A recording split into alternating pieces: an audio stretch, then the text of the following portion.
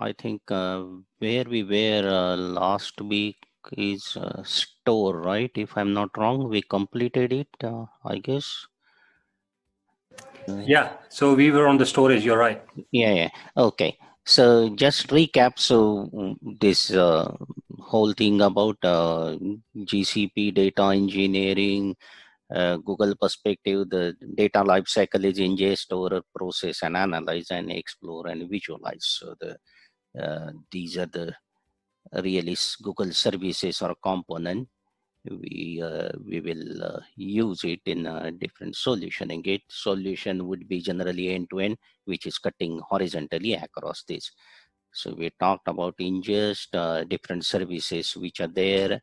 The primarily it is uh, batch and uh, streaming and how that would be. So PubSub is a component which is uh, really important on this uh, front. Streaming exam perspective as well, you may find uh, quite questions on this and batch is our normal life for a, any really data site. So it's uh, them quickly going through store we talked about it these are uh, how we can set these are different storages and uh, what is the really this is the most important uh, decision tree rather. So how how we can arrive at that which store to use it. Again exam perspective you will find it, it is there are mm, yeah there is quite a focus on this which storage you will choose okay? So top level it is structured rdbms so use uh, your uh, uh, cloud sql when it is scale you need rdbms multi-region and all those things then cloud spanner. Uh, then for mobility it is cloud firestore and all that. When it is uh, uh, no sql kind of thing is cloud Datastore. Rest everything uh, structured unstructured everything cloud storage. It's more as a swiss knife. You use it as the terminology everywhere and uh, these two are more when it is a large data is uh, more as a NoSQL, but it's uh, IoT and those kind of things, multi-regional and all that. Uh, then big table and analytical data storage, BigQuery. So it's really high level. Uh, these are the really services. We talked about uh, storage, uh, Firebase, Cloud SQL as well. We spoke, if I'm not wrong. Uh, this uh, at this moment is MySQL and PostgreSQL. Limit is around 30 terabyte. You can store it. If you are going beyond it, then uh, generally that is not suitable. And it's for OLTP workload. Uh, big table it is managed wide uh, column NoSQL. This is a more internally used by Google even for Google search, Google Analytics and everything, even Gmail. So it's more as a wide column data store. It is not entirely as a, it is a managed one, but it is not a serverless kind of thing. Means you need to provision the cluster for Bigtable and cloud SQL. On the contrary, uh, Spanner and BigQuery and all that, those are really serverless. Uh, it's you just use it and uh, pay as you need it. So Spanner, as we spoke, it is uh, more as a horizontally scalable relational database. Yeah. So again, the one terminology related to storage, uh, we uh, we last week we touched base about the eventual consistency. Okay and uh, highly consistency so that you can find some question related to that so and the other one is uh, horizontal uh, horizontal scalable and vertical scalable. So again these concept generally should be knowing it's uh, regardless of any technology. So horizontal scaling is yeah you can go on adding uh, additional machines really. That's the horizontal scalable and vertical scaling is yeah you make one machine what you have you add uh, really power into it okay so the those uh, you may find it somewhat related question uh, somewhere option it may help it when it is horizontal scalable. Generally it is a spanner you should be considering it. Okay. Then cloud Datastore uh, is more as a NoSQL document database. Uh, it's uh, but it supports ACID transaction as well, and it's uh, that way uh, use perspective exam perspective. Again i will say that yeah there would be options considering that when you store uh, your product catalog user information and all that is uh, in quite a work uh, in conjunction with your app engine that is nothing but your uh, uh, manage web server and application server really. Okay so it works quite well over there in fact. Firestore is uh, not that much importance. Again exam perspective it's more related to uh, mobile and those kind of thing. Okay now BigQuery is uh, quite emphasized you can see on uh, exam perspective as well at a ground level use perspective as well.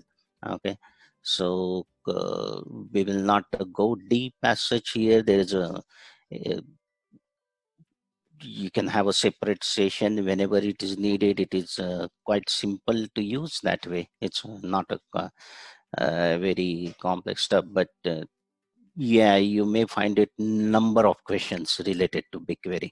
Okay. And uh, practically use perspective, it is really quite good. Uh, that would be my opinion. It's fully managed data warehouse. Uh, then it's really scale up to petabyte. It uh, entirely managed serverless. You use it only and pay that much. Uh, it's a to the uh, I will say architecture it is twofold. So you have storage, it is really beneath its cloud storage and which is a persistent storage. And then uh, the compute is uh, compute engine is on top of it. And uh, you should be paying uh, you pay generally for persistent storage and as uh, on top of it how much we carry. So is based on query how much compute is used. That would be your pricing mechanism. So um, yeah it is multi-regional regional. It's uh, use it for batch loading as well as streaming. There is some there are some charges about the stream load as such uh, as well. So there is some uh, that keep changing really. So that additional pricing would be there when you're using in that way. And mm, yeah, then uh, uh, when it started, it's more that initial uh, BigQuery version was not supporting update, but now it's uh, support update as well. And uh, but there is still some limitation, I guess, how many updates you can do in a month or something. Okay, it's uh, more as a columnar data store, and yeah, uh, you can uh, use it in a multiple way really now the, the newer version of uh, BigQuery, there is, uh, uh, I think, integration with R was there earlier itself. Now it is, uh, uh it has built-in functions uh,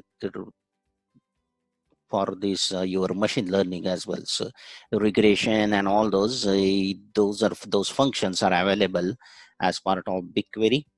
now the ready-made function you can use it; those are built-in functions and uh, yeah you can uh, define quite a user defined functions as well and uh, mm, okay I think that's big query and uh, really most important. There are how to optimize query and all those. So it really that level uh, exam perspective, it's expectation uh, that you should be knowing it. There are different, even each query, how it breaks and what are the different state states of that and how you can monitor those as well. So it's really important uh, uh, topic that way I will say.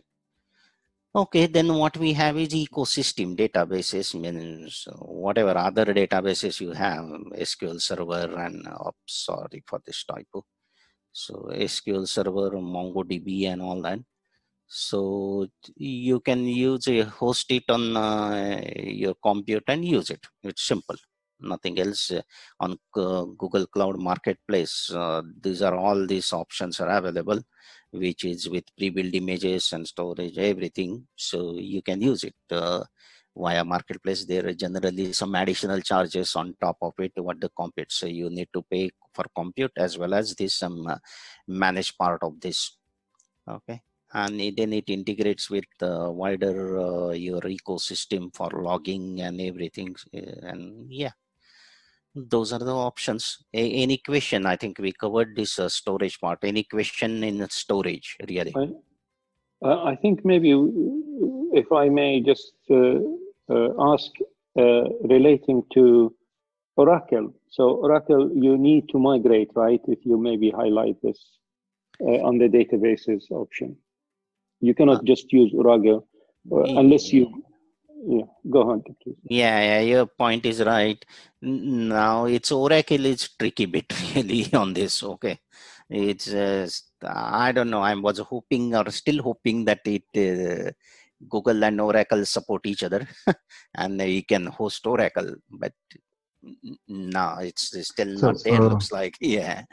Yeah, Atul, let me let me add a, uh point here. So, as as we know, like there is a big rivalry between Oracle and Google. Uh, So Accenture has basically created a managed service, which is a wrapper on top of the Oracle. So this is a managed service which you can uh, enable through the GCP market uh, space, and then through that you can basically onboard Oracle services on GCP. Oh okay. So you can host it as well. Is it? I mean so oracle how that works? Yeah, yeah, it is. It is a managed service that is hosted, but again, Accenture has got the IP. ah okay. That's interesting. But okay. uh, yeah thanks for adding it. Yeah. But I think from exam perspective, uh, maybe you should think about migrating to yeah. uh, con- con- converting the data. I'm not sure unless they change it or uh, Google have supported this approach. It's uh, tricky if you get this question in the exam for the Mm. Uh, architect. So ju- just to uh, rephrase it, uh, Google doesn't ask any question about the migration, including uh, Oracle in the exams. So because that's a kind of like uh, a specialized solution, and uh, in the exam they pretty much cover the basic uh, operations and the basic even if you talk about the migration, it's pretty much uh, talk about the SQL Server, MongoDB, uh, Firebase, etc. So I think you shouldn't worry about that. These are like industry specific use cases, which uh, is normally uh, you would be doing in the industry, but they won't be coming in, in, in the exams. Uh, yeah, I agree with you. Uh, I have not seen the question uh, in the exam, uh, but I have seen it in many of the uh, exam uh, practice to, helping kind of things. But I and I, but it did not appear on the on the real exam. But I think the purpose of these questions from the practice exam were to just highlight to people that you cannot migrate Oracle. You have to uh, basically convert the, the, the data and then load it up into the um, uh, the, the uh, MySQL or something. Totally agree. Yes. Uh, so uh, probably we uh, maybe later on I can I can cover maybe next week like what are the things which are specialized use cases and normally there are tricky things which you normally do to take care of those specialized cases in GCP or maybe any any AWS or any cloud solution. Yeah.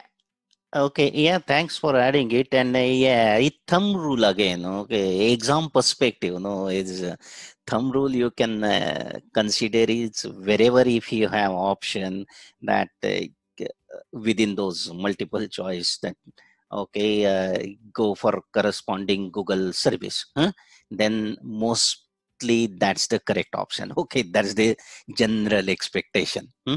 Exam perspective again and not at a ground level as it is pointed out is very valid point ground level or use case is a bit different but the exam perspective generally thumb rule we can say that corresponding uh, use the google service or component that would be the option okay yeah uh, can we go further really uh, now the next the data lifecycle stage is process and analyze okay so yeah, we ingested the data, data is stored now, and the next stage is in order to derive business value and insight from data, it's uh, transform and analyze it. Okay, so it is a processing framework. Uh, and uh, yeah, what the tools we use, then these are the three things we process, then we analyze it, and we try to understand it.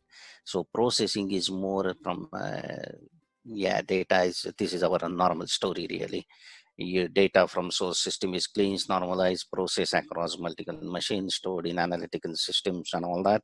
So that uh, we can analyze it with uh, standard reports, query, ad hoc query, or we explore it more. Now, the more uh, we uh, usage is in terms of now uh, understanding which is uh, really machine learning and all those what we do. Okay? So that's the three areas so processing large scale data. So the when it is large scale data processing, um, those are the three uh, services. It's more cloud data proc, cloud Dataflow, and uh, data prep. Okay, so it, uh, now the, the the whole thing about uh, exam perspective is really uh, cloud Dataproc and cloud Dataflow you may get uh, quite a few questions. Is not expected anything as a coding related question and all that. It's really these are all code heavy topics in a way actually when you use it. But that that is not expected in exam. Its exam is more that uh, what service uh, you will use it and more it's how you will use it. Okay? You may find those uh, related question in that way and uh, these are really quite important these two things.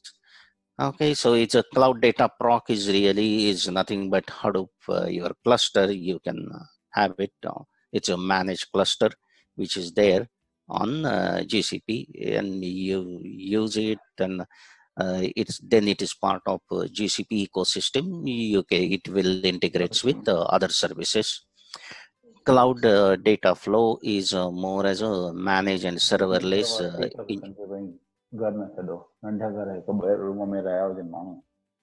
uh, I think if you please mute.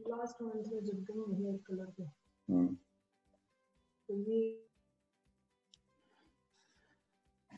I have muted them. Yeah, hello. Yeah. Uh, Okay, so cloud Dataproc is uh, exist uh, when you use cloud Dataproc. So when it is ex you have existing Hadoop cluster and Spark application and all that, then uh, you go for cloud data proc, hmm? and you have machine learning existing. Your ecosystem is there, and you use the, the Dataproc. That's the way uh, go for it. Uh, I have a, I have a, a real life experience with uh, with this. We met with Google and the company that I was uh, basically working for at the time, we built a huge uh, uh, Cloudera Hadoop cluster, approximately 20 different, uh, 20 uh, servers and 20 slaves, two masters and, and 18 slaves. It's a huge cluster. And so uh, basically Google came and tried to persuade us to uh, uh, use it in the cloud. And there are many benefits because we don't have to touch any of the administration aspects of this huge infrastructure and it all will be, and it will expand uh, on its own. So this is, but of course, we, the company that I was working for at the time, did not agree because they invested so much money and it was difficult for them to you know just uh, chuck all this money out and but this is a practical experience with the data uh, uh, I hope you don't mind just sharing this. Yeah, yeah. Thanks for sharing. Yeah, but, and it's really um, in that way. If any, if you have experience in actually working on Hadoop and all that, it's uh, uh, the administration is really quite. Uh, I will say, uh, okay, challenge rather a little Very bit headache as well. yeah, a little bit headache only. yeah, and especially the security the yeah. security is quite very difficult because you need to have certain keys and these keys need to fly uh, to be exchanged on the fly so you, the the way i was responsible for doing the design and working with the with the uh, Cloudera to manage this But if you go to the cloud, it's basically you don't have to worry about the security aspect. Of course, you can ask Google how you secure it, and they can give you the best possible solution. But it was very, very challenging because I had to integrate it with Active Directory, and we have to segment it to make the keys uh, in a different segment within the cluster because they are more secure and put a firewall. It was a big story that, but it was a government area, so the, it was not possible to go to the cloud. That's why Yeah. they had to build their own. Yeah, and uh, see the another challenge what we see is uh, it's more of this Hadoop is really it's a family, right? All the components you have, and what version really matches with something and all that. That really is uh, quite a challenge. But when it is a managed, that's again is an advantage. However, one more practical point is though it is say Dataproc and all that, this may not be that your whatever application or your systems which are working on prim that may not work as it in cloud Dataproc okay? That is a practical aspect of it because of many reasons versions and different things and all that okay? So it's not that easy story that okay this works over there and all you may end up in uh, doing that okay host everything. You have first as a compute corresponding host it over there start uh, uh, working in cloud and then uh, really then migrate to dataproc so that is also quite a practical way okay? Lift and shift really on compute as it's so that is still there which is not uh, that way it is google don't mention as such here but that is a practical way okay I, I think there is other uh, few other business models. I mean, especially if you have like your data scientist who's going to write the algorithm or who's going to write the uh, train the data or train the model, you can then do the, use the cloud to do the training because accessibility is possible and you give people access. Or so you can do the testing in the cloud and then this is another way of uh, you know uh, Yeah. making utilizing the cloud as well. Yeah. Okay. So uh, thanks for sharing and all uh, valid scenarios. Really, exam perspective. Yes, when uh, you can consider that when there is existing load and um, Hadoop is there or existing ecosystem is there, then uh, uh, yeah, you can uh, consider the option which is on those multiple choices where the Dataproc is the more appropriate thing. Okay as an option. So that way, exam perspective usage. Practically, yeah, there are a number of things you will. Okay. Second one, uh, okay, so that's what it is mentioned over there. It is really managed Apache Hadoop. Oh, sorry. Yeah, it's managed Apache Hadoop, Apache Spark. It's it uh, has these components: Hadoop, Spark, Pig, Hive, and uh, I think uh, the if whatever you need additional when you launch the cluster at that time you can uh, add those as initialization script and uh, just have those uh, installed as well. Uh, its advantages it's really low cost. You can use preemptible instances as your worker nodes hmm? and the cluster really launch in uh, 90 seconds and that's the way. Uh, so most important to use or typically use what i mentioned is on-demand cluster uh, with cloud storage to store persistent data. So you use it in that way rather than it is a persistent cluster. Really launch the cluster when you need a processing and uh, have your persistent data in cloud storage uh, and uh, your cluster means Hadoop cluster uh, you can point to your cloud storage as a data. So use that only as a processing stuff. And uh, yeah, this is a quite uh, valid scenario as part of solution. You use it.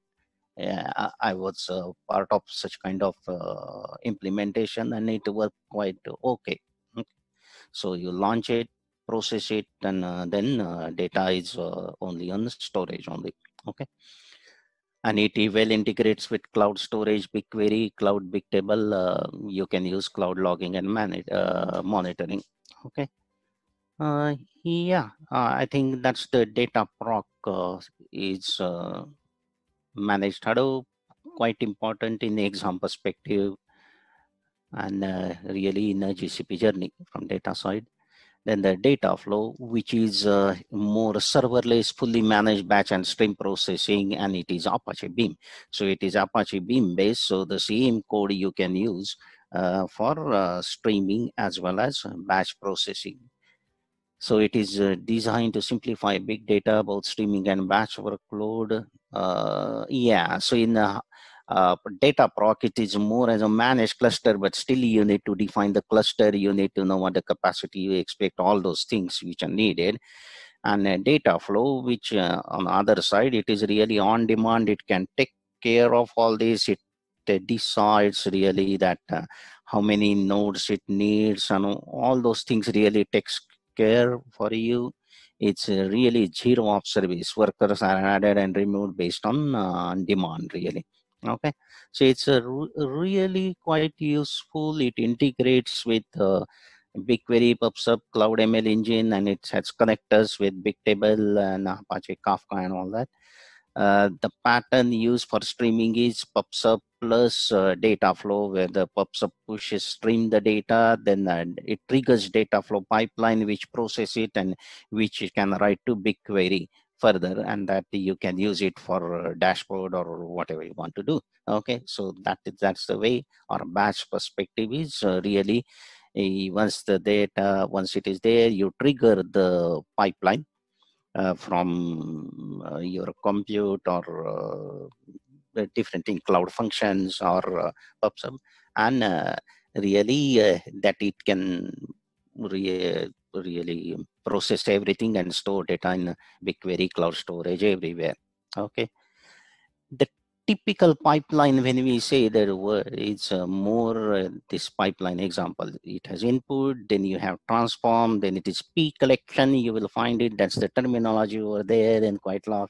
So it is really store it is uh, go in the stages. Input is also you can say in a way it's PCollection. So it is you have data then you transform it so input it's more as your row by row. You pick it up transform uh, in a certain way at a step. Then it is intermediate again as a PCollection. Then again you transform. So you do like step step steps till you reach your output which is there that is needed. Okay? And uh, yeah uh, there are something again exam perspective code it is it, this whole thing is code heavy but that may not be expected in the exam but still there is typical uh, phrase ParDo and all those kind of thing. Mm, maybe there is question on those lines. It supports right now language it's uh, you can code in java that was earlier now you can you can code in uh, python and uh, uh, i think now in uh, scala go and everything as well okay but uh, looks like uh, primary use uh, is uh, earlier it was Java. Now Python is also quite uh, widely used. It's uh, quite a good service as such in use perspective. I have I used it, implemented, and it's really quite powerful. and it compared to your persistent power and cluster this is really true serverless so it is in that perspective cost effective. Hmm. okay. And uh, exam perspective quite important. Uh, again there you may find question related to what this uh, IAM means uh, what access and uh, those kind of thing needed on this pipeline and all that. So yeah again it is too detailed so i'm not uh, it's just not added over here. But exam perspective you may find those related question that what access you need to give on individual pipeline or if at all or at a project level at a, for different roles kind of thing. Okay. A, any question on this? That sounds good yeah, okay. Thank you. And the last one is data prep. So it is uh, by Trifacta. Uh, okay, so it is another company. It is, uh, you can find it in the marketplace. It is Dataprep. So uh, in a way, this uh, Dataflow kind of thing is really uh, there is not a very nice UI or something. It's like uh, it's really developer tool. That way we can see it's it's just you need to code it. Really speaking, and then the, the Dataprep is really nice wrapper on top of it. It back it really use Dataflow, but it has a nice uh, browser UI and all that. So you can do all the pick and all those things, our uh, classical ETL uh, tools, what we have. No?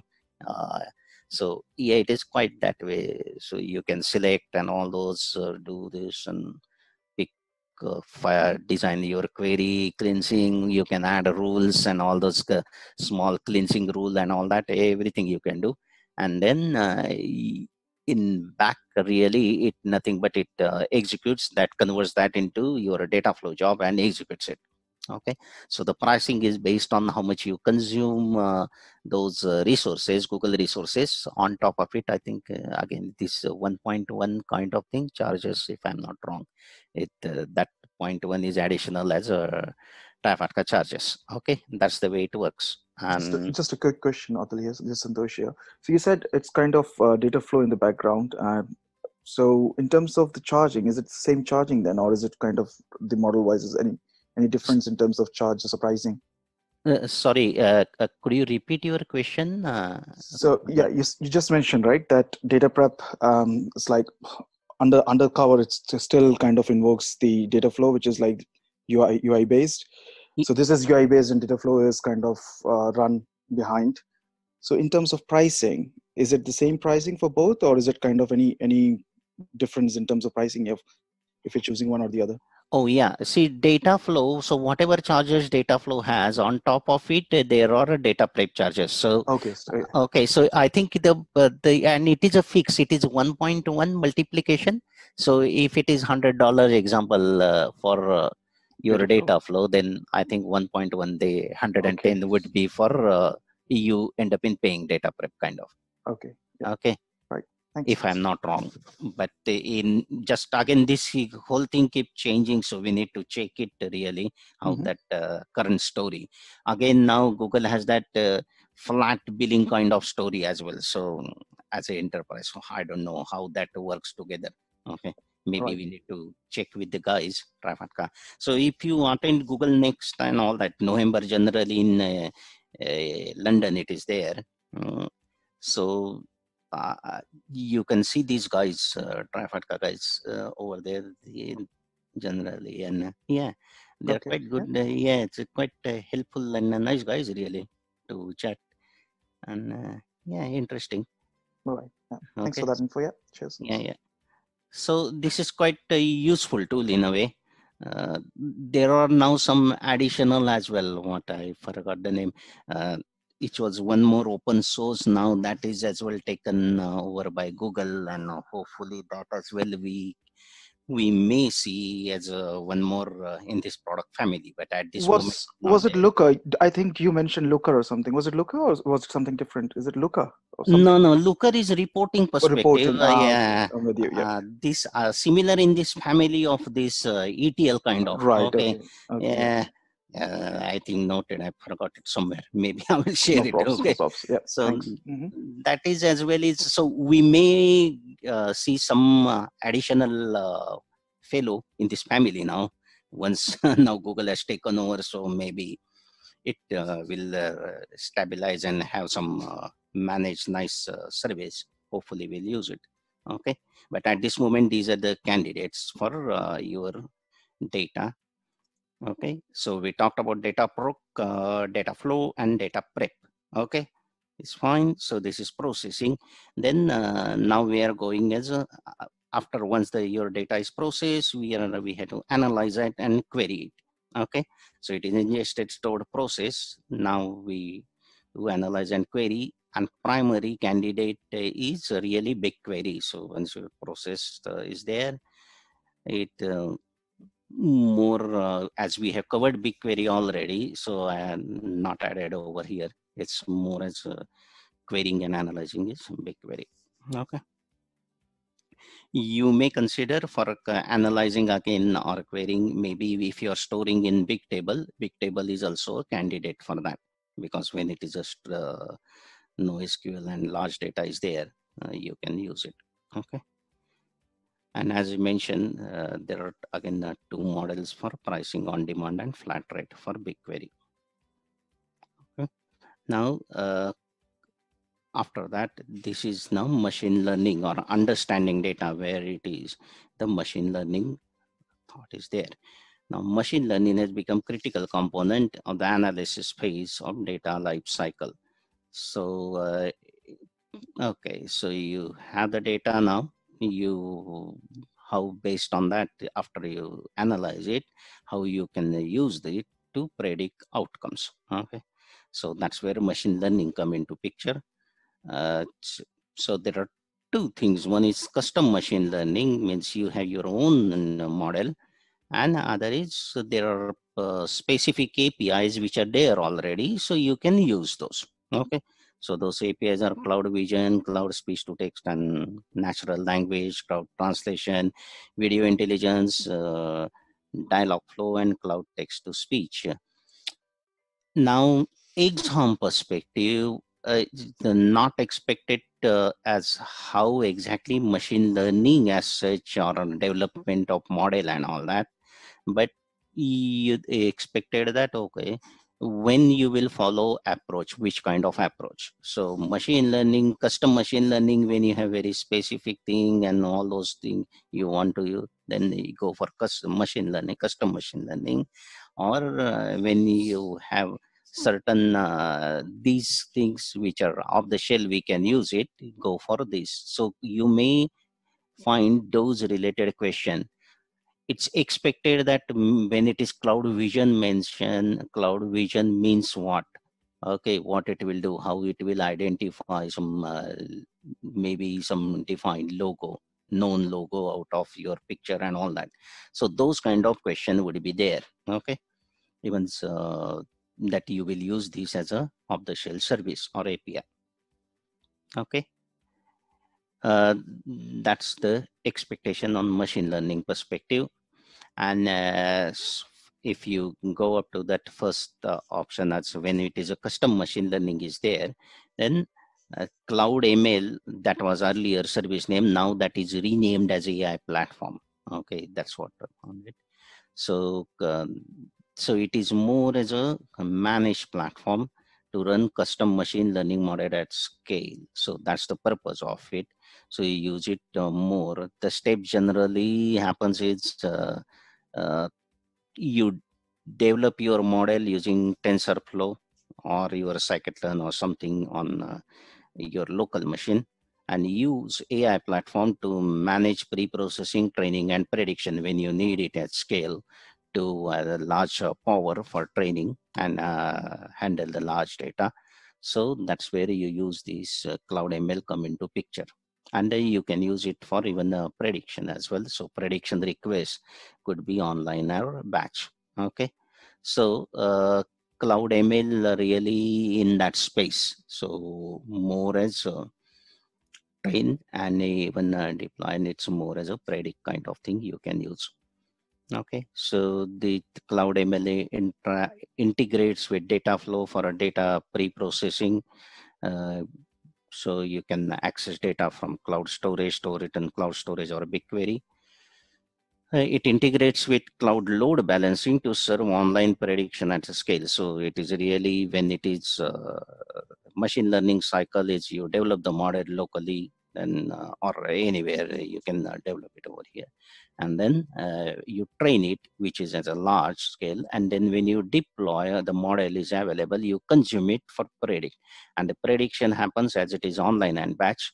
When it is online is there it's really you should, there would be api call or something you execute one request to predict something. Example your sales so you can see my sales purpose for maybe next week or something. That could be one request kind of thing online. So it, those requests could be handled uh, from your uh, mobile app or your web application or somewhere. And uh, you can use it can pass through via the cloud load balancing as such.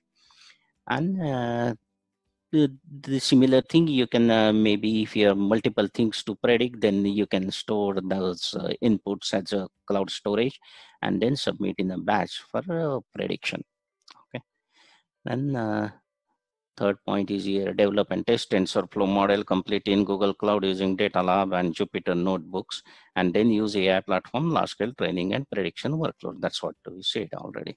Okay so Jupyter Notebook is nothing but uh, it's, um, I think, uh, hope everybody knows it more as a quite interactive tool, which is uh, you can host it uh, really uh, on your uh, desktop laptop and it integrates with it generally language use it's python but uh, Uh, you, it, you can use even uh, Java code and all those uh, to develop it. You can share that notebook uh, there. And uh, Google Datalab, which is the next really component, it is where it is nothing but a managed Jupyter notebook, but it only supports Python as such, where it is Google Cloud Datalab is considered. Okay. Uh, then any question on this really cloud ml uh, as such? Eh, this is exam perspective more in that way you can uh, it is not as a serverless component. You need to uh, really launch a cluster and all that and uh, so you may have certain uh, combination of it. What would be your master? What would be your uh, worker nodes and uh, those kind of thing and there are even for parameter as such for that you need access. Okay? You can use preemptible instance as well for this and you may expect question related to this really okay? What would be the ratio of your primary to worker to your uh, parameter server? Then uh, can we use preemptible those kind of thing options? Okay? So th those related things that level understanding is expected in exam. Hmm. Okay. And uh, these are I just listed additional options as such for processing. So is your normal computer, your Kubernetes engine or cloud functions. So if you have your existing uh, code which you want to still execute in that way example your javascripts are there which are doing something processing you want to use it in your pipeline you can still execute it and uh, have a compute uh, engine there you execute it or your whatever java your code or your even sql and all that. So you can use in that way you can launch uh, or use Kubernetes engine, launch it and just on demand and uh, push the code as a Docker entire thing and you can execute it. Docker will contain your code as well as related libraries and all that and it can execute in that way.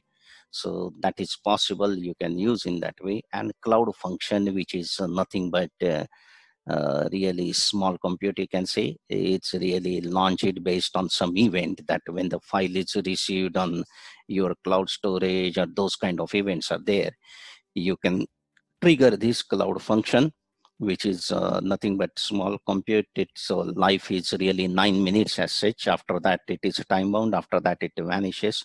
So that small execution it can do rather than you keeping the your persistent compute and all that and you get uh, charged in that way only for small thing. So you can use it for triggering uh, your uh, Dataflow pipeline or triggering something. Uh, read this file or copying, pushing it somewhere, those kind of thing you can use its cloud function.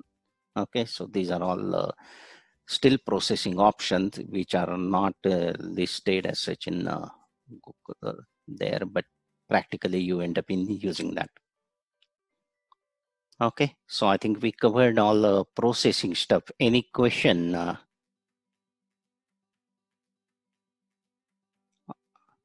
or can we go further? This is the last step. Any question uh, till now? Or anybody want to add anything? So how is the market like in the UK? There are really uh, uh, a big use of, of, of, these modules or it's still companies are just experimenting and learning, and it's not real implementation. In your experience? Mm, I think he, all combination is there actually. See the the way uh, I think the mostly you know what I see is if you go hmm,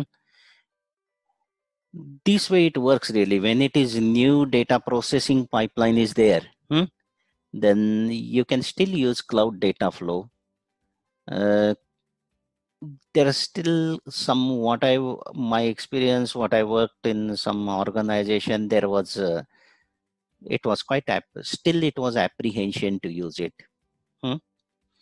mm, now there are multiple reasons for that some are uh, uh, more sensitive reasons as such as well because uh, how much control you want to give it because here what happens is it can allocate uh, any uh, you can consume any power no it's on demand. So how you can control it giving access to it and those kind of. Dataprocs yeah it is still used but uh, what it was mentioned earlier there's uh, those challenges are still there but i think people use Dataproc uh, in that way because still whatever you say the existing low workload is there right? And uh, hadoop and all organization have it? And nobody want to lose it. So you end up in having cloud Dataproc kind of thing or really everything hosted on compute. So that is as well there as a first step. So yeah this whole combination is there so practically what i see is uh, experience wise it's people use maybe as a lift and shift kind of thing. Man just use it as a compute to start with. Then slowly uh, uh, try to use Dataproc kind of on demand cluster and all those. So those kind of scenario i uh, used it rather than it uh, it helps to save cost quite a lot rather than big your persistent cluster.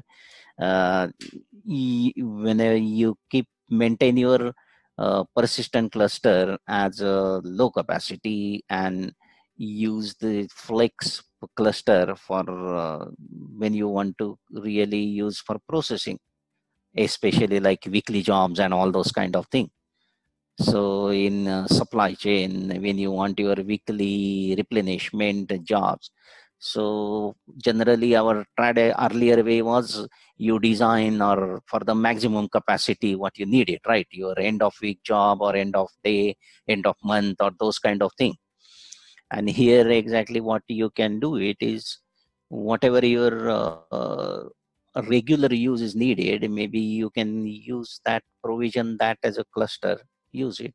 And when you need high capacity really use on demand clusters so those kind of usage is there at in industry as well in the uk Dataflow yes for the new work is there. In you go for it and yes it's people have used it. I also used in that way only. Uh, when there is new stuff was there yeah we proposed it and uh, we used it uh, thanks atul. Uh, so just to add uh, here uh, in the uk especially like around london and nearby places because there are a lot of financial companies right? So we are seeing a lot of demand specifically related to big data, BigQuery, uh, data management, data processing on over the cloud uh, to like different uh, cloud providers, whether GCP, AWS, Azure, etc. Even IBM. Uh, so there are a lot of uh, customers who are talking about this. So even if you just consider percentage wise, I would say like 60% of the 60 65% of the requirements are currently coming for big data and BigQuery based solutions because most of the banks have got big clusters, uh, big data clusters, a lot of data they are dealing with, which they want to migrate. A lot of financial companies have the same one. Even uh, just giving you one example, LSE, which is like London Stock Exchange, they have got a big cluster. They are currently migrating everything on AWS and GCP. So if you just consider UK, yeah, there is a lot of demand for these. And even the demand for the data processing management over uh, cloud is also increasing.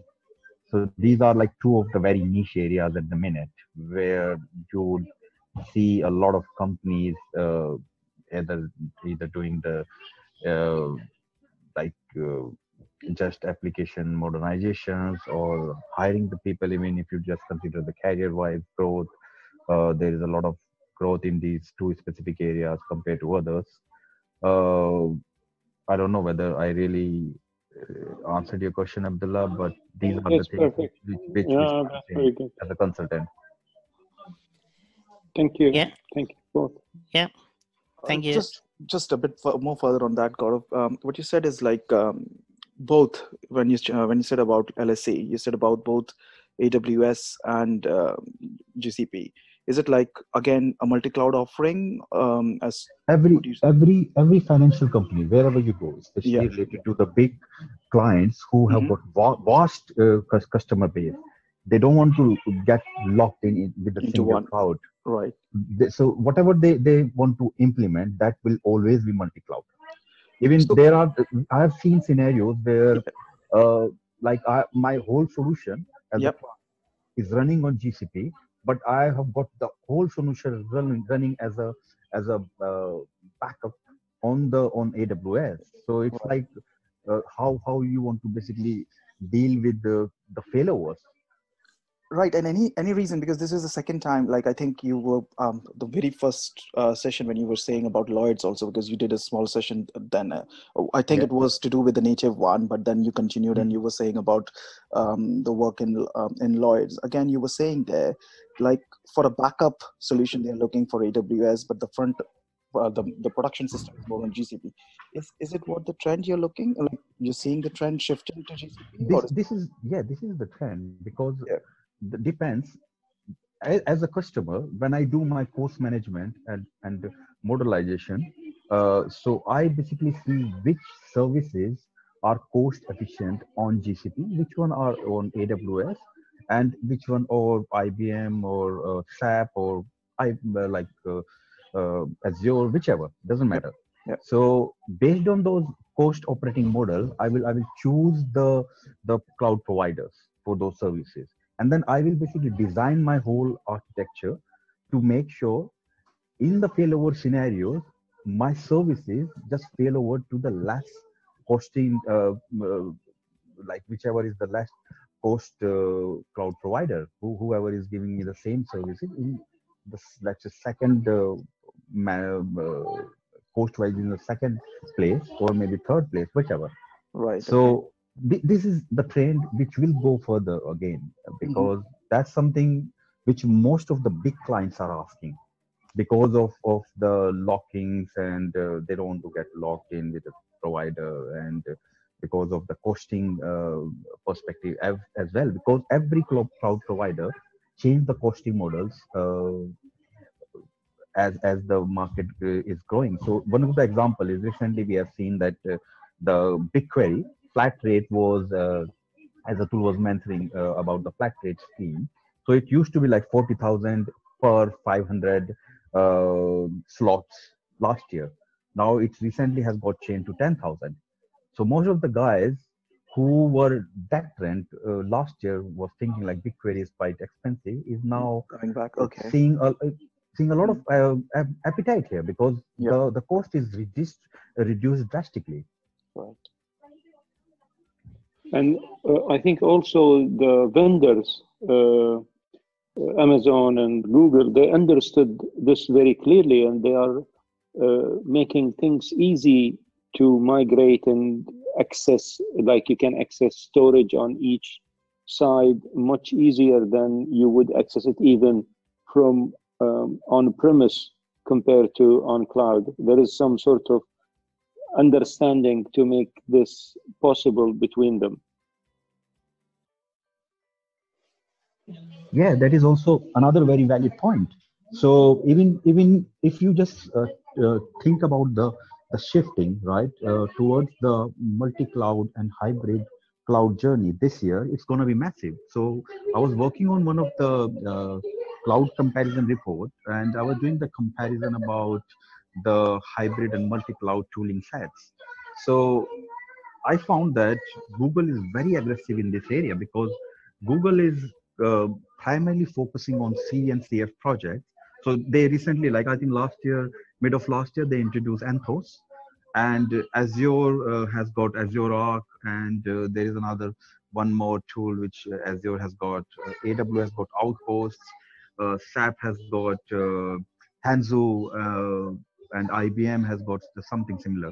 So there are a lot of all these cloud providers are basically putting a lot of emphasis on this area because that is something which is basically getting on demand day by day from every customer right? So uh, you you also need to see the trends like how all these big uh, cloud providers are basically producing the solutions to make the life easier for the clients. Uh, so like uh, anthos is is mostly currently supporting you uh, like GKE based uh, solutions. So if you have got any anything in house running on VMware, you can just use Anthos and migrate everything quickly on GKE and it, you basically will be able to do the whole cloud management via your GCP dashboards, which is like great. Uh, every client want to have a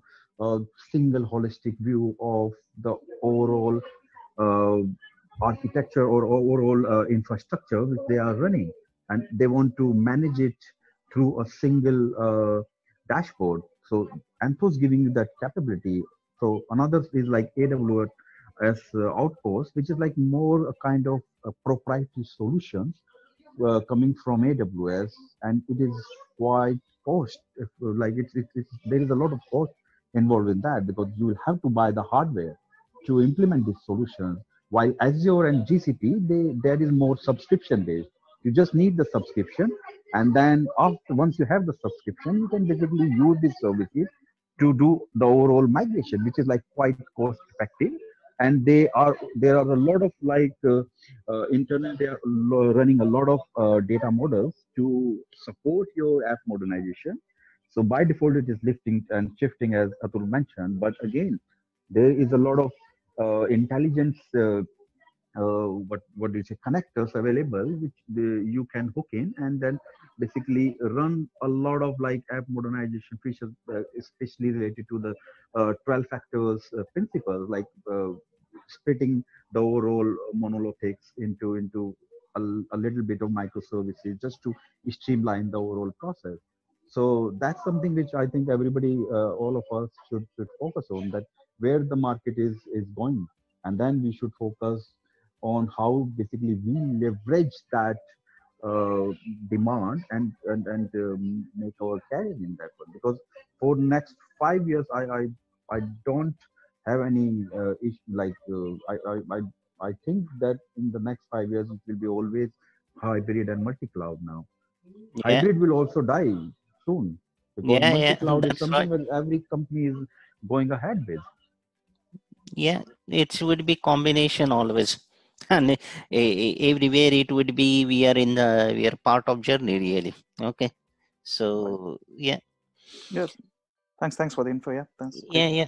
Okay. So I think let's uh, go ahead uh, with the last life cycle stage. It's more uh, explore and visualize. So we have ingested it. We have uh, stored it, we have processed it, and now we are uh, explore and visualize.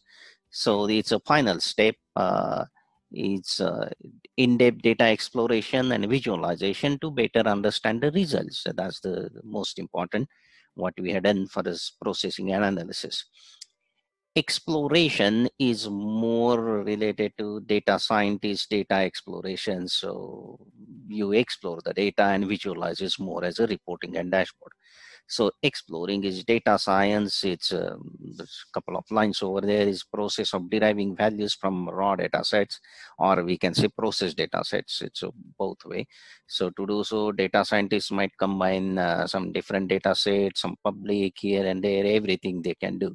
So always it would be combination of uh, uh, typical, uh, you use this whatever process data which is there then you can use even your raw data which is just ingested or you have your own data you load it from somewhere.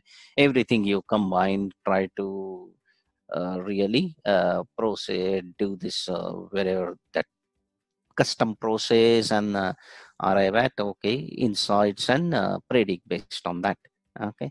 And that that's where it stand. And uh, that too we can use the services. Datalab is the service. It's uh, more as a uh, managed jupyter uh, notebook. So it's a interactive data insight.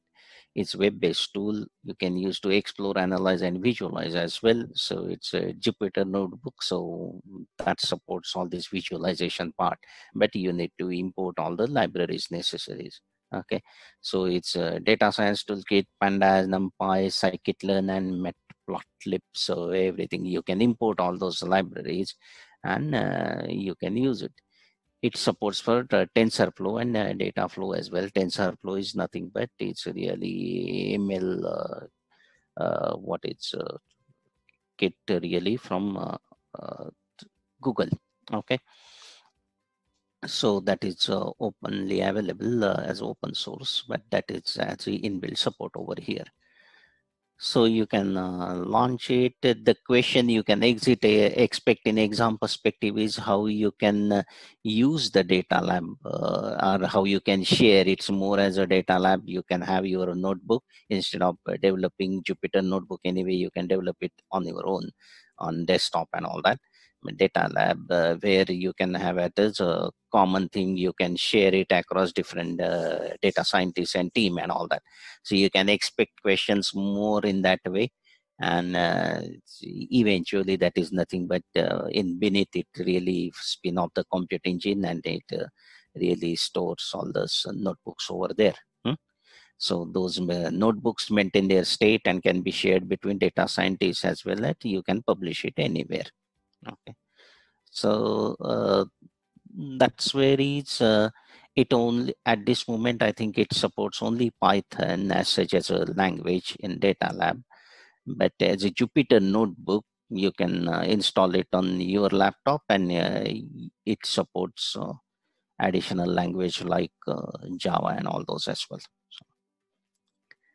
Okay, so another thing is data data science ecosystems means uh, it's a regular stuff, which is a where it is a managed component is not there. You can install it on the compute and you can use it like RStudio, that Microsoft Machine Learning Server, and Jupyter Hub. So you can install it and use it but as then it becomes part of uh, your google family as such you can use uh, the server would be managed and you can use logging and all those things monitoring bit for what is happening. Okay so you can use in that way as part of ecosystem. Okay. And uh, i think this is the last bit. Is uh, google data studio. That is nothing but your visualization uh, part uh, to the reporting tool is uh, G Suite, not as such uh, Google Compute, but it is G Suite uh, as such, but it integrates, it has uh, quite good integration with Google Sheet, Cloud SQL, BigQuery, and all that. Um, it, it is, uh, yeah, I will say it is still, yeah, it's quite okay. It is a free, uh, first of all. So, and it's getting quite enriched means i attended one google uh, that event, the GDG event, it, it's uh, there the product, uh, one of the product team member was there. He mentioned, uh, yeah, it's still for Google. It is uh, emphasize on that uh, they are investing it and making it more rich.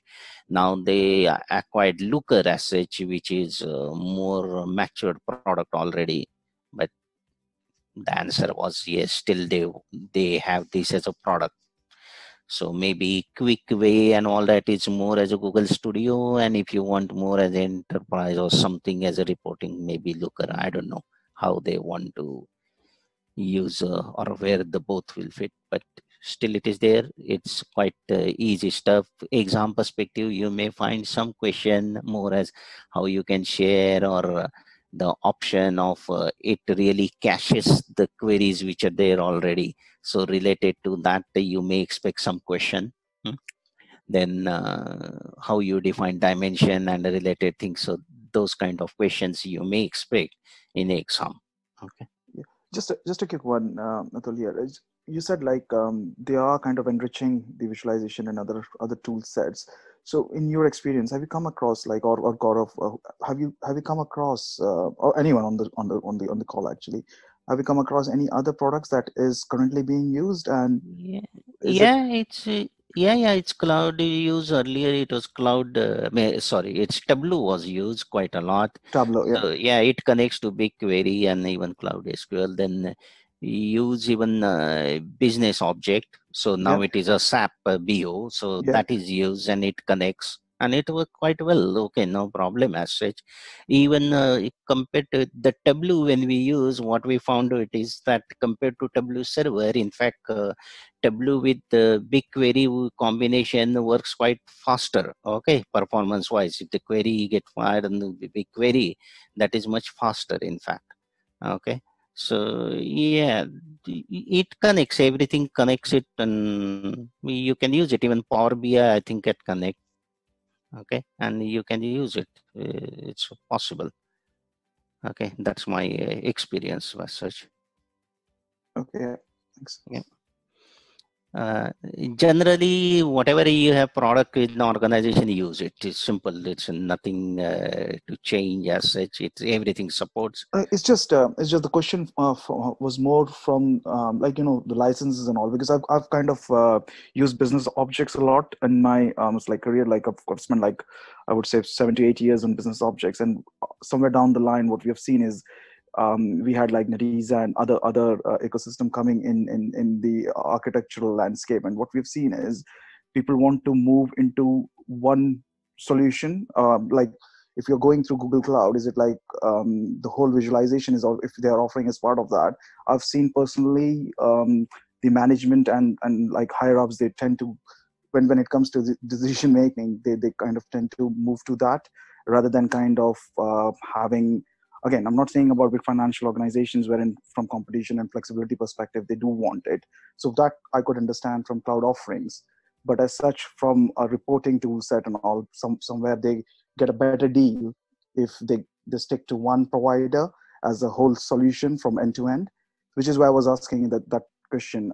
Have you seen a shift with more uh, google google kind of putting more in uh, like your looker or other other data sets? The clients are Mm. willing to go go that way or are they still using and is there any benefit? Have you seen any any such trends happening? Okay, my experience till now is uh, people uh, or whatever I came across mostly using the existing reporting tools. right. Okay, yeah. So mm, maybe maybe multiple reason already they have licenses. Okay, Yes, yes. that's where it started. yes yes Then already there are quite a dashboard or a reporting there. Don't want to change it. in terms kind of thing migration and all yes yes, yes and I don't want to have one more thing because this anyway this migration is there on cards so why to change that as well hmm? yeah but what i found is uh, though we earlier it's tableau and all those they were hosted on uh, data center that Mhm. hosting that is now hosted on uh, google compute kind of thing okay so Right. that hosting has happened even bu- business object okay right okay so in terms of That way. connectivity and all like they have Mm. uh, like um like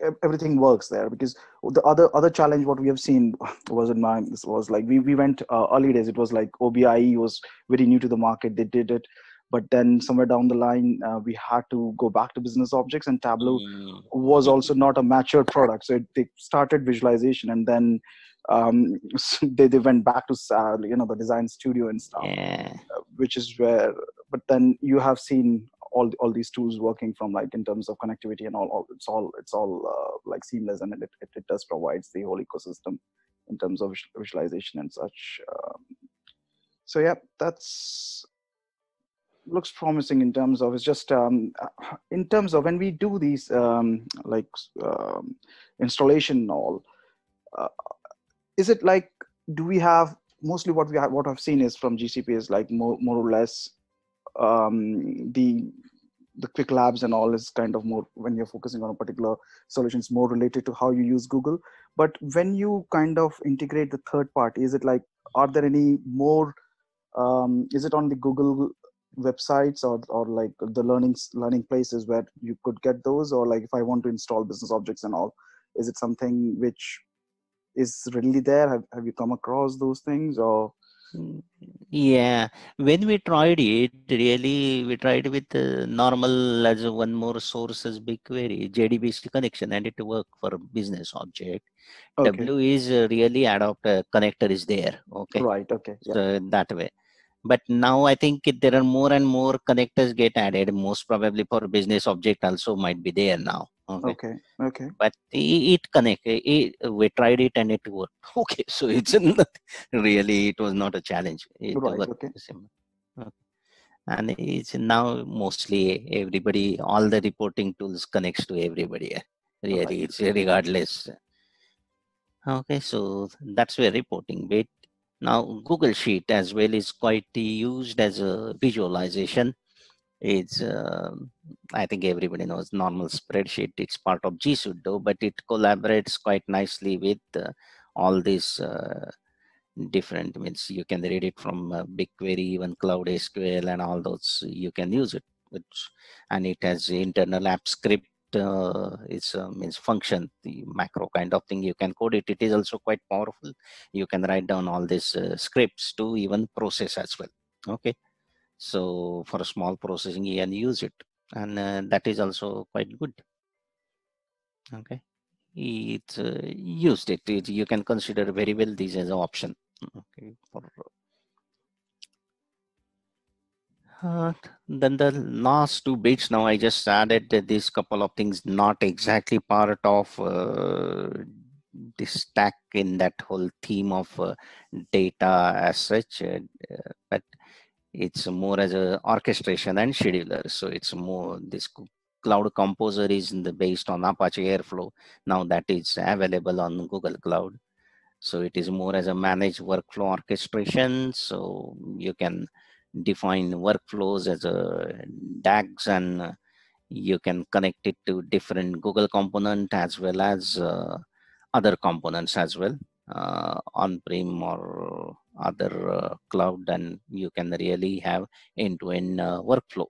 Okay, single orchestration tool and it is a manage on demand kind of use. So use it that quite good tool it connect python based mostly it connects to quite a lot thing in fact you can use on premise it connects to teradata the way we have used it's uh, teradata it connects then uh, it can uh, one DAG to read it from there, then push it into your uh, big uh, query uh, storage. Then eh, you can from there another uh, DAG to really uh, uh, execute certain all the your processing layers to build your analytic or data warehousing layer, those kind of thing.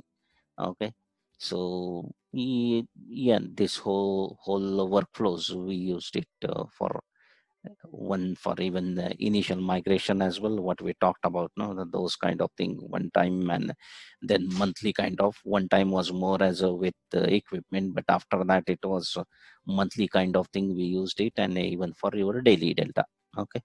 So yeah it is a good tool. Uh, it's now available. We used it at that time in fact airflow hosted on uh, compute but now it is available as uh, google family. So cloud composer and uh, one more thing, it is cloud scheduler. It is more, you can schedule something kind of more as a cron job kind of thing. Earlier, it was not as a separate component.